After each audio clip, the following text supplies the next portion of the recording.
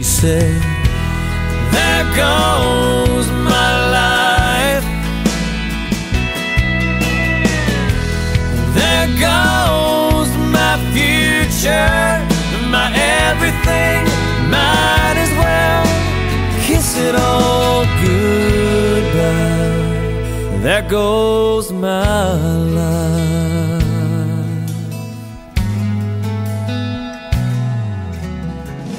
Couple years of up all night and a few thousand diapers later.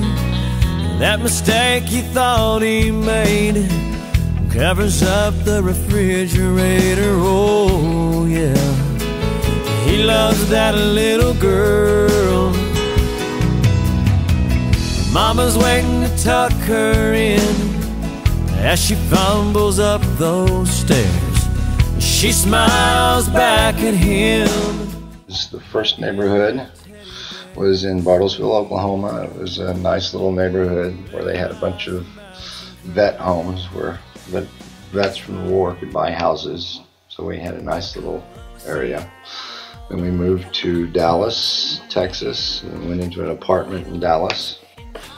Then we moved to Los Angeles, California.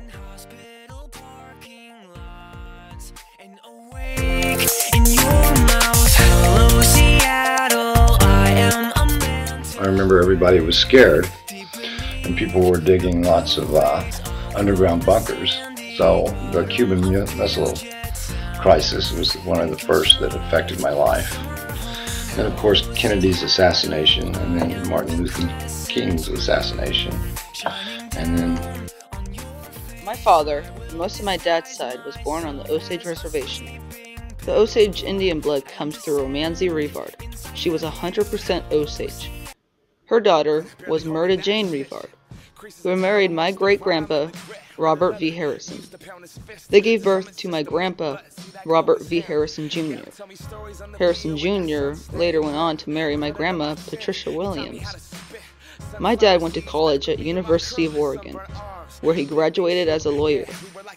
Then he moved to Washington, D.C., and back to Portland, and then he moved to Window Rock, Arizona. But then finally got a job with the Puyallup tribe of Indians, where he moved to Puyallup, then to Fife, where he met my mom, who also worked at the tribe, though she was a Puyallup tribe member. Where was Grandma Cheryl Keating born? Your grandma Cheryl was born in Australia, and how that came about was your great grandpa John Merle Keating was stationed in Australia during World War II with the U.S. Navy. Here he met your great grandma Earl Rose, and they had your grandma Cheryl. And how did they move to, to America?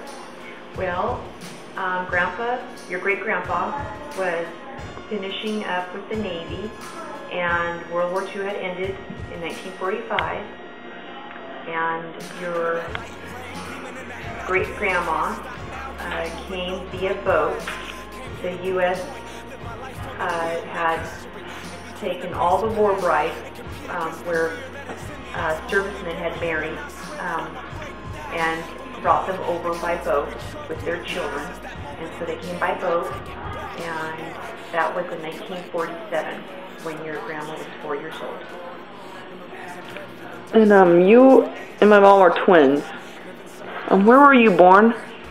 Uh, your mom, Tiffany, my twin, her and I were born in a town called Aberdeen, and that is in, of course, the state of Washington. And uh, your siblings were also born in Hoquiam, Washington. Well, actually, they were, we were all born in Aberdeen, Washington, which is right next to Oakland. Okay, thank you. My mother, Tiffany Hamilton, is a dual Australian American citizen. She, along with her seven siblings Lisa, Greg, Julie, Michelle, Janelle, Tiffany, and Tammy, who are twins, and Heather, were all born in Aberdeen, Washington, USA. They all get their dual citizenship from my great great grandparents Bertha Van Hoff and Herman Rose, who were born in Australia. Bertha and Herman's parents both came from Germany to Australia. They gave birth to my great grandmother, Burl Joyce Rose. Burl met my great grandfather, John Merle Keating, and they gave birth to Cheryl Ann Keating. She met James Hamilton, my grandfather, whose family has been in the United States for five generations when they immigrated from Scotland. James Hamilton's father was born in Colorado, and his mother was born in Pima, Arizona. They moved to Aberdeen, Washington for the logging business that was run by Weyerhaeuser. You know that I could use somebody.